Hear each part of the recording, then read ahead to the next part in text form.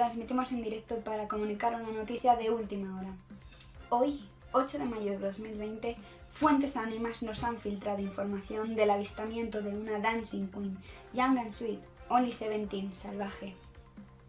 Nuestro equipo de investigación ha ido a primera hora de la mañana al lugar de los hechos para recabar información. Esto es lo que ha descubierto. Les dejamos con el reportaje. Carlina Mandarina, Mateo Soto, Calla, Carl San Michael, Baby Gorilla o Max Maxwell son solo algunos de los muchos nombres por los que se la conoce. Pero, ¿quién es en realidad la persona que se esconde detrás de la leyenda? Su nombre real es Carla Garnares Jiménez y esta es su historia. Nace un día 8 de mayo de 2003 en la ciudad de Madrid, en una familia de media cuna. Nace a la sombra de su hermana mayor, Andrea, conocida mundialmente por ser la más genial princesa hada. Nacer en esta familia solo podía prometerle una vida de éxitos a este pequeño bebé. Era un bebé muy tranquilo. Pero no sabemos lo que pudo pasar. Existen varias teorías sobre dónde se encuentra el inicio del declive de esta pequeña. Las dos escuelas de pensamiento más destacables son los pelosetistas y los curistas. Los pelositistas ubican el inicio de la caída en el día que Carla decidió hacerse este corte de pelo. En cambio, los curistas piensan algo muy diferente. Para ellos, todo empieza el día en que este vídeo vio por primera vez la luz. Voy a contar mi vida, ¿sabes? Yo de primeras era una cura. Bueno, de pequeña quería ser cura, porque iba tanto a la misa que dije, pues ya está, voy a ser cura. Luego eh, me capturaron unas brujas, ¿vale? ¿Y qué más? Una vampiresa. Y me echaron en una voz y salió parecer un esqueleto. Y al hacer fuerte esto, caen los huesos. Y eso es lo que quiero contar, que es que ahora los chicos esqueletos me gustan. ¡Oh! ¡Que me mato! Ya. A partir de este vídeo, la Iglesia Católica publicó un comunicado en el que prohibían a Carla pertenecer a la Iglesia y practicar la fe cristiana.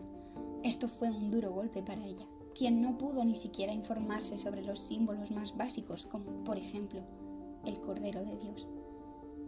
A pesar de este duro golpe, no tardó en recuperarse y en seguir con su vida gracias a la ayuda y el apoyo de sus grandes amigas. Hola, sí, buenos días. Sí, perdón por las pintas, ¿eh? es que vengo de rabo y no he dormido. ¿Cómo? ¿Pero esto no es la entrevista para Fabric? ¿Cómo que sí conozco a Carla? Carla. ¡Carla! La hermana de Andrea. La, la guapa de las hermanas, ¿no? Hostia, sí, sí, sí la conozco, por. Me estás diciendo que no puedo hablar mal de Carla. ¿Y entonces qué quieres que diga? No, no, sí, yo pienso, pero es que está difícil la cosa, ¿eh? Yo soy Paula, soy una genia, sí. Yo soy Andrea y soy una princesa hada, como lo podéis ver. Y bueno, vamos a hablar de Carlina, Carla o como la queréis llamar. Pues sí, la conozco desde que tiene. cero años hasta ahora que va a cumplir 14. ¿Cómo? No. O sea, no, no, mi Carla no cumple esa edad. No, tiene 14 años y está en segundo la ESO. He dicho que tiene 14.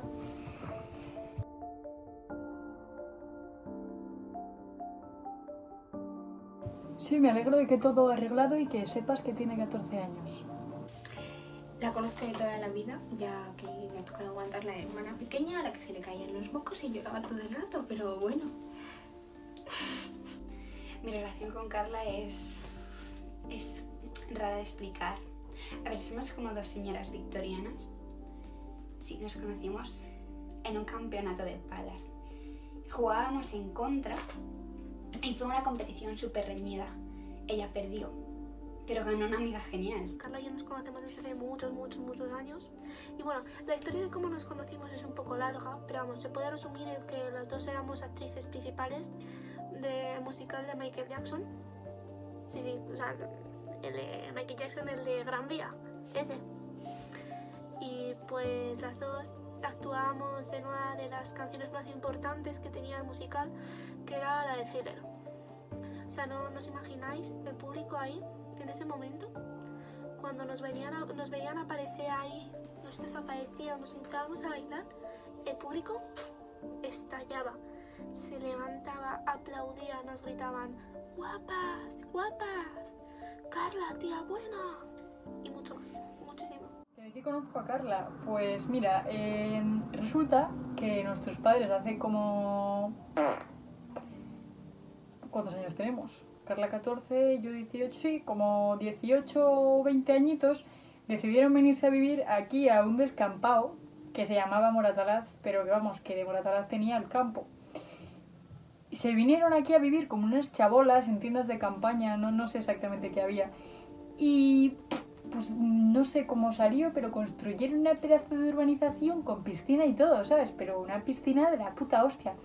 ¿Qué pasa? Que en la piscina hay un problema que es que hay aforo y es de una diva.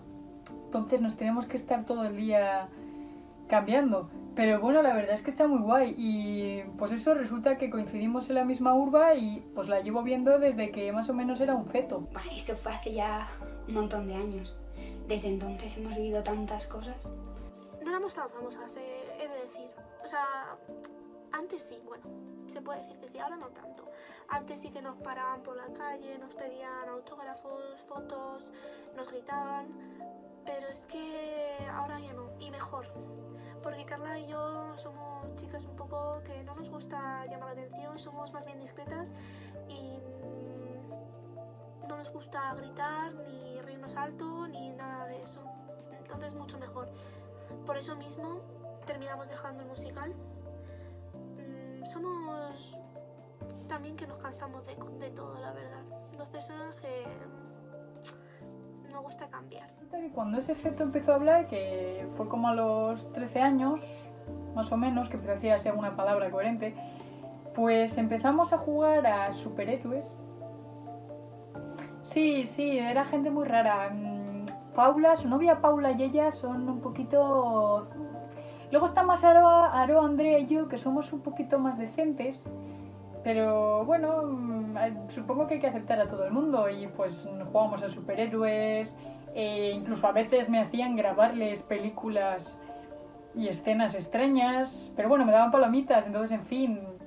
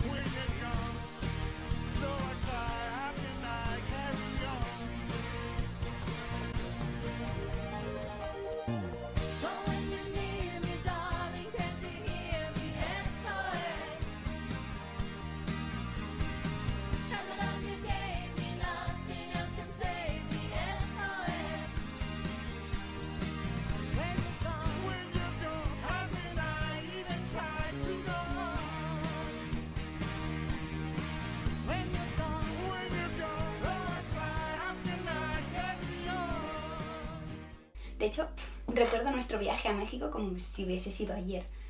O sea, ayer el verano pasado. Sí, el vuelo se nos hizo súper corto, como un viaje en metro de artilleros al Gazpi. Maravilloso.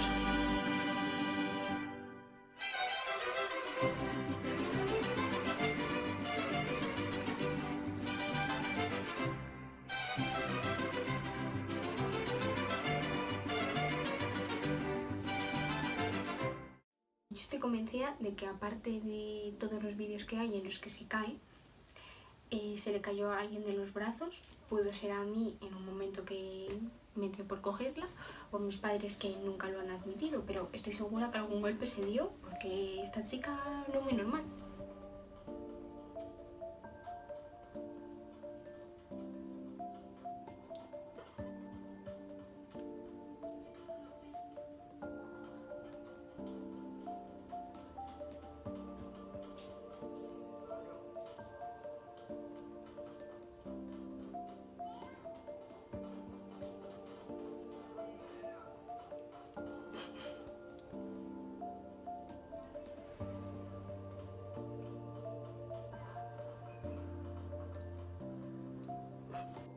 Tenido una trayectoria laboral juntas muy larga, muy larga. ¿eh? Algunos de los trabajos más destacados que hemos tenido es que después de musical abrimos una tienda, tiendas Picolín. Eh, era de las mejores de Madrid, la verdad. Vendíamos alimentos, animales, eh, joyería y luego lo ampliamos a cine, teniendo varias sesiones al día. O sea, era lo que digo, de las mejores. Pero la cerramos. No todo es para siempre y la volvemos a cerrar. Sí. Profesionalmente. A ver, es que es complicado trabajar con una persona de 7 años. Que abrimos un hospital de Barbies polioperadas. Eh, nuestra especialidad era arreglar piernas.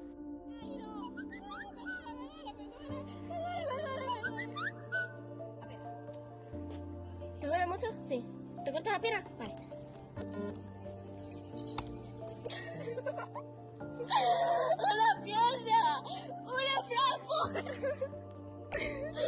Flambo! ¡Ay, que... ¡A que te pego una patada! ¡A que te pego yo otra! Te pego, ¿eh? Te pego una patada. Chum, chum. A que me cabe tu, me cabe tu chancla, ¿eh? Me cabe... Pues mira, el mismo pie tenemos.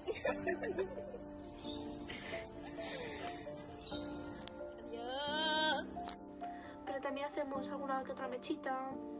Es raro un hospital, pero éramos modernas. Y esto.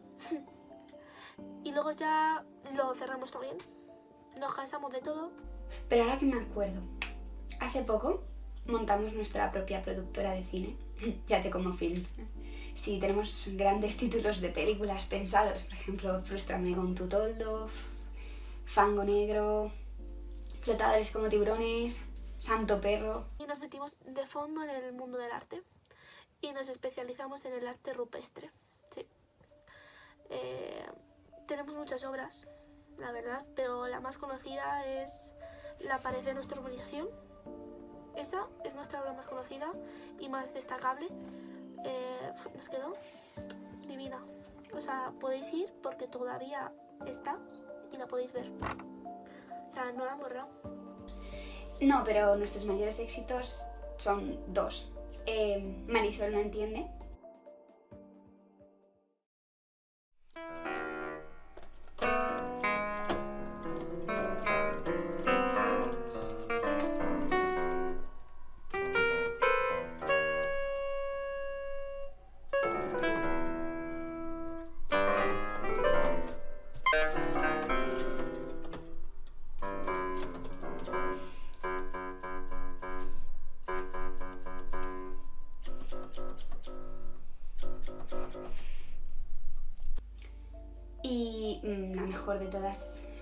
Aclamadísima por la crítica, es Max Maxwell. O sea, es que esa película marcó un antes y un después en la historia del cine. Hola, Hola. soy Max Maxwell. Un señor muy perturbador.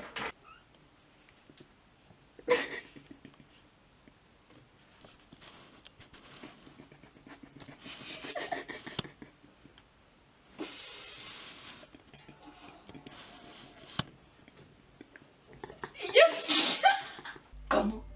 ¿Que Max Maxwell es un personaje?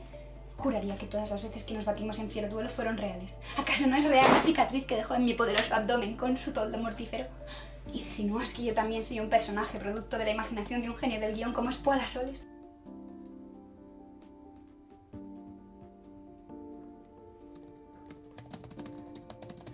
¿Qué tonterías dices? Y esta querida Carla, está como una puta chota, hermano, pero como una chota que dices, pero es que...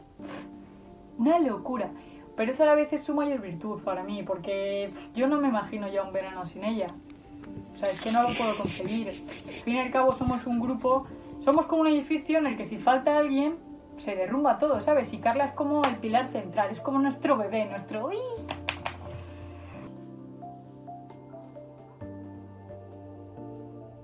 Para mí, mm, la mejor cualidad que tiene es que está loca. Eh, su mente no funciona como debería y la verdad es que a mí me hace mucha gracia, pero es un poco preocupante a veces. Carla es como mm, una combinación entre sinceridad y alegría en estado puro. Y se deja hacer cualquier cosa. O sea, es que el otro día la saqué de la nevera mm, para un vídeo. O sea, es que me dejó sacarla de la nevera, ¿vale? Y es mm, una persona que mm, nunca te va a decir que no a cualquier plan, que siempre va a estar con una sonrisa a cualquier plan disparatado que digas, oye, hacemos esto. Ella siempre va de cabeza, va a ser la primera y la primera que te anime. Eh, ya sea ir a una exposición de Stranger Things y terminar eh, comprando pelis en el sex de Barbie, por supuesto. Bueno, luego hay otras cosas que no le gustan tanto, como que le toque a Simón. Mira, mira, mira, mira, mira. Mm, no entiendo por qué, Te presento a Simón. pero bueno, ¿qué le vamos a hacer? Eh, ella me da golpes porque no le gusta y bueno, Eh, ir a dar una vuelta y terminar en el cine. O incluso ir a ver Coco a casa de Paula y terminar con unos furcios y unas cuantas caídas.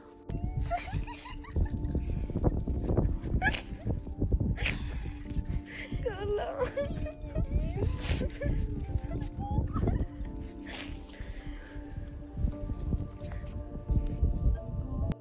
gran bailarina. Su paso estrella es el pino. Se llama así porque ella lo llamó así. Cuando bailaba decía que iba a hacer el pino. Y bueno, ella lo intentaba y se ha quedado como su paso. Además es una gran llorona.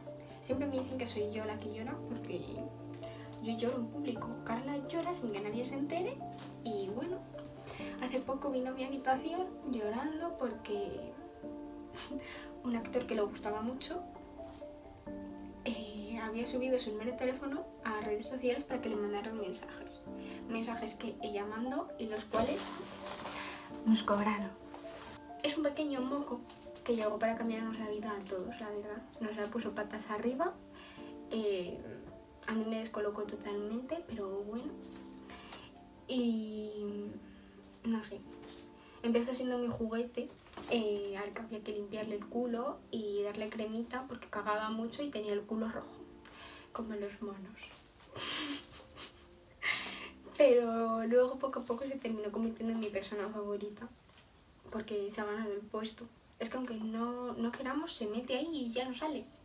Esta chica, no sé. Em, a mí me encanta discutir con ella. Eh, no sé, es que nos desahogamos, nos odiamos un rato aunque mamá lo odie. Y al día siguiente estamos como una rosa tan contentas y yendo a tocarle las narices a la otra. Porque nos encanta. Hemos nacido para eso, para tocarnos las narices. Eh, yo soy su payaso personal. Mm, Todo lo que hago le hace gracia, todo el día riéndose de mí y aunque yo le digo que pare, la verdad es que me gusta porque siento que tengo una fan y a mí los fans me encantan, yo es que doy todo por ellos. Carla es la mejor actriz que he tenido nunca. Y no lo digo porque sea la única, no, no, es mucho más que eso. Su capacidad de improvisación es simplemente magnífica. Esas bombillas que se están encendiendo no son farolas, sino son fantasmas que viven ahí dentro, porque los viejos los capturaron y los metieron en esas lámparas. Ahora os quiero contar una historia también del bosque encantado que sucedió en esa rampa de ahí.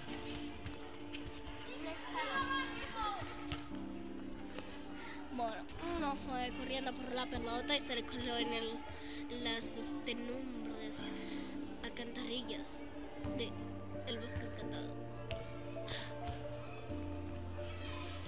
Y dice que los fantasmas viven ahora con su pelota.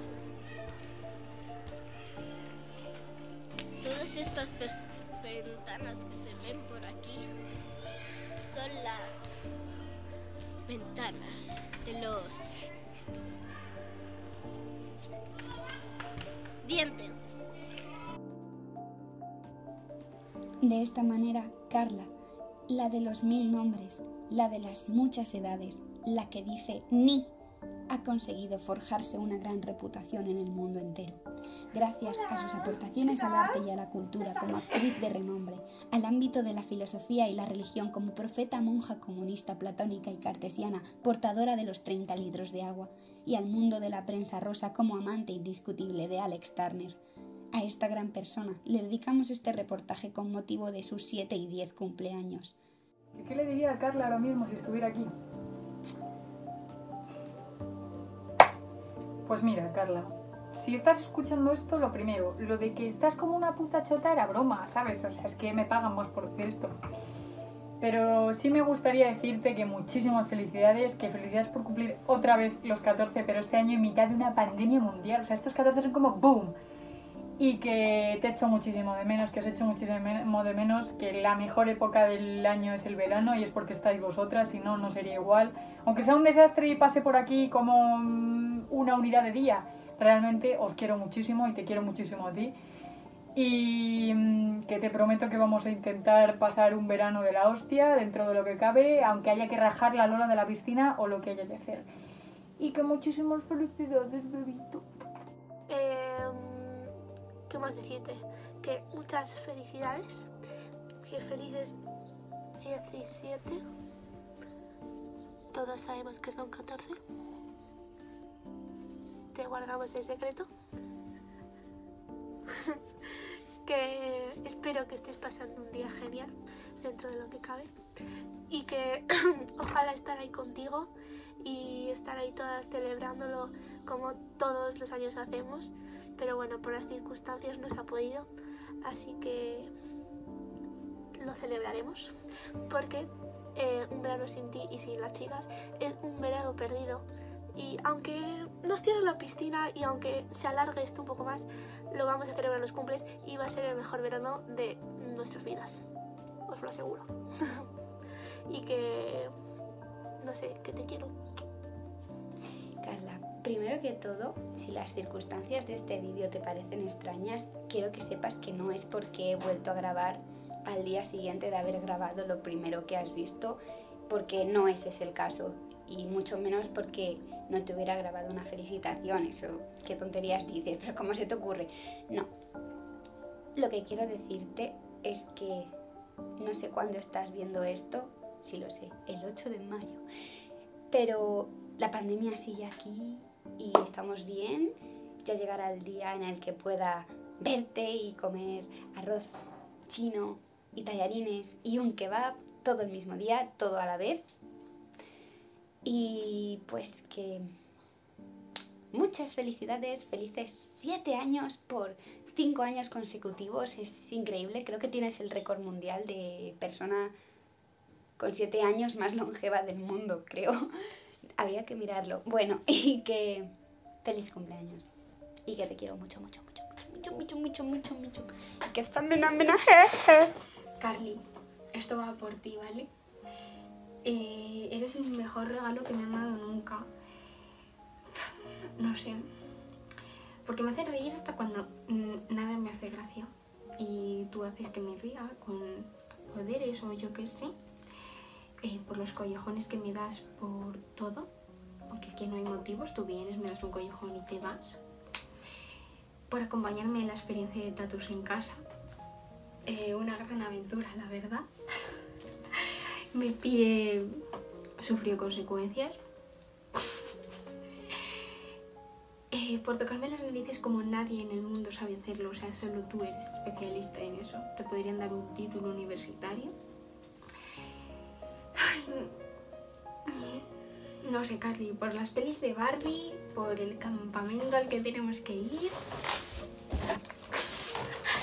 Al campamento quiero llegar ya. Carla, qué vergüenza estoy haciendo. O sea, qué vergüenza estoy pasando por ti. En fin, gracias por sujetarme la botella. Eh, y Carly, porque me quieres como nunca pensé que nadie me iba a querer nunca. Porque, Dios, es que no sé. Mm, porque eres tú. O sea, simplemente por ser tú. Porque eres la mejor. Porque. Yo qué sé, tía, porque eres única porque eres mi bebé, lo vas a hacer siempre y cada vez que pienso en cuánto te quiero me entran ganas de llorar porque me explota el corazón. Te quiero mucho, ¿vale, Carly? Y yo siempre voy a estar aquí para ti, aunque esté en la otra punta del mundo o lo que sea. Que te quiero mucho, mucho, mucho, mucho, mucho. ¡Felicidades, bebé! sido todo por hoy. Vuelvan mañana para más noticias de última hora. Les dejamos con la película de la semana.